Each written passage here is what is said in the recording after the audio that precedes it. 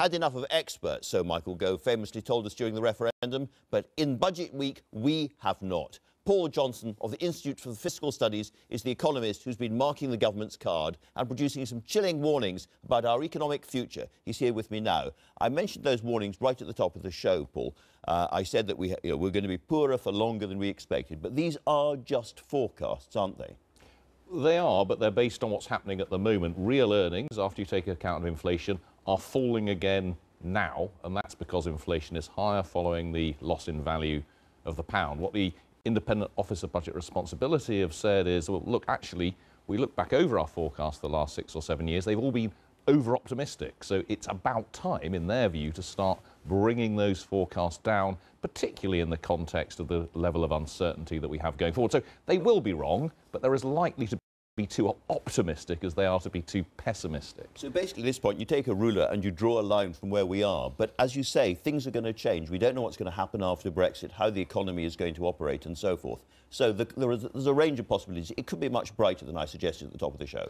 There's a, there's a huge round, range of uncertainty around this. I think this is probably the moment of greatest uncertainty that we know about, mm. at least, that we faced in a very, very long time. So it could be brighter. But as I say, I think they've taken the middle path, so it's okay. just as likely to be even worse than they're suggesting, and I'm what afraid. Would that, what would that feel like for us? Well, at the moment, what it feels like is what it's felt like for quite a long time, which is that real incomes are, falling, real earnings in particular mm. are falling, so people are feeling a squeeze. And the worry, in a sense, okay. about the OBR's forecast is that they just think that squeeze will broadly speaking continue such that earnings in the early 2020s are no higher than they were back in 2008 and, and okay. that really is historically unprecedented. Dreich, I think is the Scottish word for it.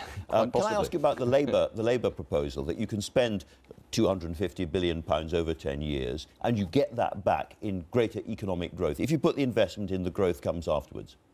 Well, the most important thing about investment is how you spend it. So it's very easy to talk about big numbers and actually to be fair to the current Chancellor, he is increasing investment to its highest fraction, uh, highest levels of portion of GDP that it's been in at least 40 years. So the Conservatives are doing some of this.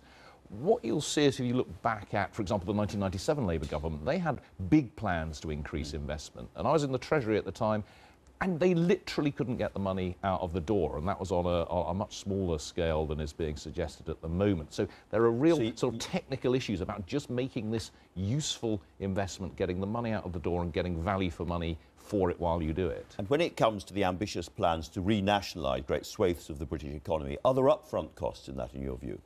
Well, that's a different kind of investment. So if, in a sense, you are paying for an asset what it's worth, then the government balance sheet doesn't change uh, in reality, although the, the, the, financial numbers will change. The real issue here is do you really believe that these things will work so much better in the public sector uh, that that's worth doing? Because certainly there's, if you look over history, you can have an argument about this, but it's certainly okay. not clear that that's the case. All right. Stay there for now, if you don't mind. I'm going to have a quick word with Barry Gardiner, who is here from the